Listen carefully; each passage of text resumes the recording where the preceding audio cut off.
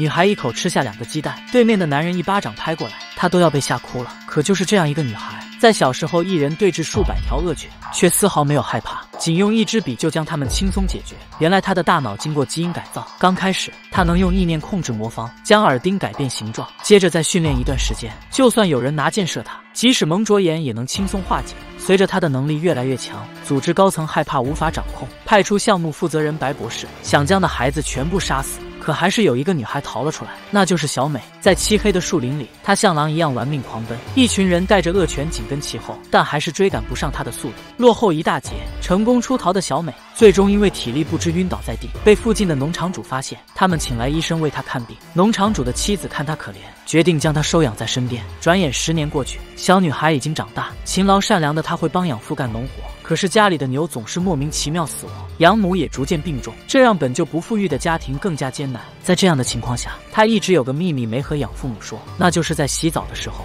会经常头疼，但是一直没去看医生，只是在网上查找原因。这天回家的路上，闺蜜给她看了一档选秀节目，只要获胜就能得到一奖金，这样就有足够的钱给养母治病。镜头上的她平平无奇，可一开口却惊呆众人。还在舞台上表演起了魔术，以全场最高分进入决赛。晚上，一家人坐在沙发上看他的节目，庆祝他取得了好名次。可养父看着他的魔术表演，却露出了凝重的神色。而就在这时，电话突然响起，但接通后却没人说话。只见不远处的山坡上，一个人正注视着他们家。第二天一早，他们前往首尔参加决赛。在火车上，两人鸡蛋配雪碧，一口吞下两个。可这吃相也太难看了。对面卷毛看不下去了，直接一巴掌扇了过来。小美都被吓哭了。对方明确说认识她，还称呼她为魔女。小美一脸问号。闺蜜见状赶紧起哄，瞬间吸引了周围人的注意。卷毛只好起身离开。在过道上，一个男人不小心和她撞上，她一把抓住男人的手臂，捏碎了他的金表，而后脖子一拧，像丢垃圾般直接将他扔下火车。完事后还不忘掏出帕子将手擦拭干净。毫无意外，这次小美的表演又获得了第一名。结束后的她突然感觉头晕，连忙跑进了厕所。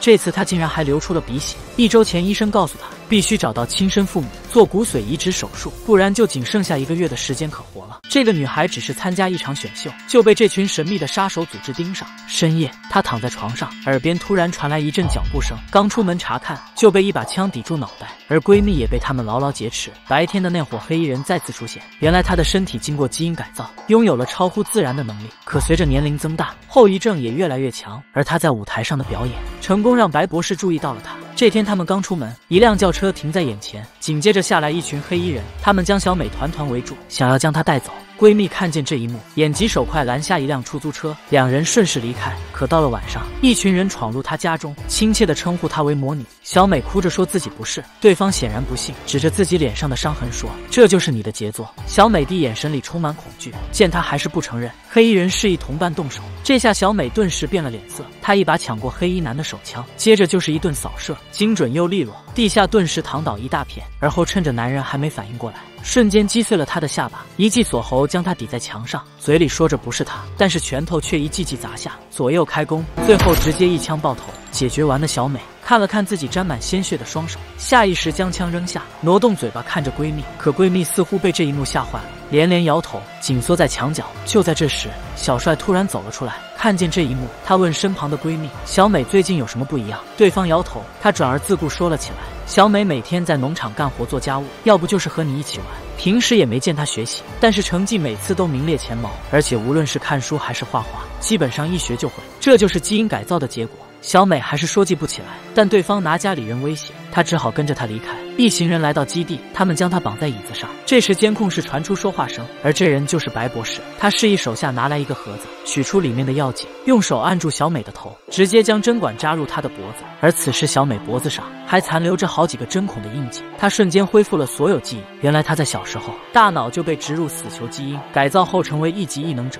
紧接着，博士下令再给小美注射一支药剂，这直接让看着监控的小帅慌了神，连忙起身阻止，但这似乎已经来不及了。这个女孩被坏人绑在椅子上，但她并没有惊慌，反而亲切地向对方问好。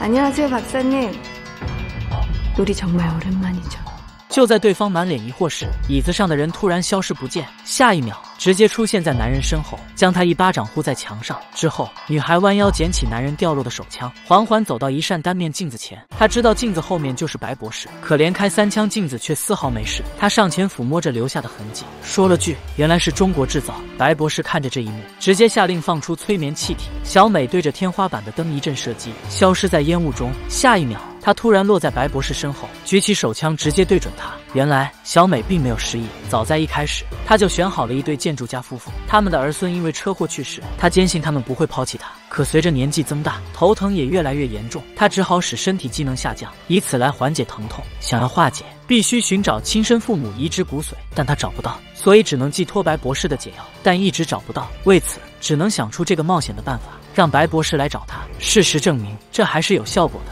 没过多久，小帅就找上了他。白博士没有想到，当初那么小的他就谋划好了这一切。说着，小美拿出药剂，朝博士腿开了一枪后，逼问白博士解药的下落。就在他拖着白博士去找解药的路上，被突然出现的小帅一卷击飞，摔倒在地上。但同为 S 级的他，哪里会是小美的对手？他一个闪身，直接掐住小帅的脖子，单手将他按在墙上。小帅还想反抗。最后更是被一拳头击飞，见对方还是不服气，直接上去就是几个嘴巴子，这就是实力的差距。最后，小美用意念将枪吸到手上，对准想要逃跑白博士就是一枪，她也顺利在保险箱里找到了剩下的解药，背着包离开了这个地方。画面一转，她来到了医院，看着病床上虚弱的养母，她还是顾念着他们的养育之恩，将为数不多的解药给了她。自己只留下两只，在楼下和闺蜜告别后再次离开。但故事到这并没有结束。三个月后，为了寻找更多的药剂，她找到了一个女人，但她居然和白博士长得一模一样。